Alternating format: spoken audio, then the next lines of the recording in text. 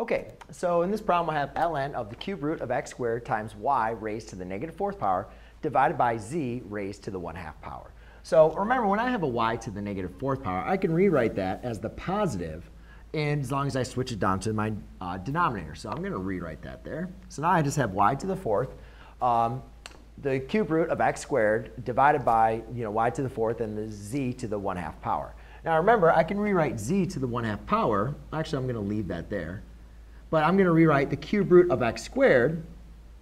I'm going to write that as x to the 2 thirds power.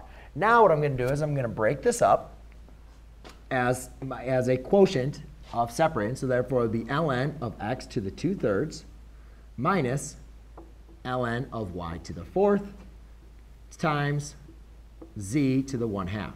Now remember, you're subtracting your numerator is subtracting your denominator. And I can still break this apart using my product. Right? So I'm going to put parentheses down there to understand that, I'm, that I am dividing both of these terms. Because now, uh, to apply my product property, remember that states that if I have log base b of x times y, that equals log base b of x plus log base b of y.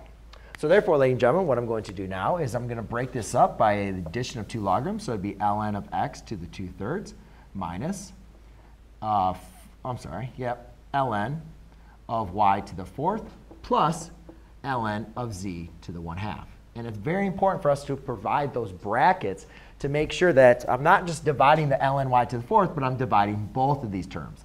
Now I can take my exponents and bring them in front as a product. So therefore, it would be 2 thirds ln of x minus 4 ln of y plus 1 half ln of z.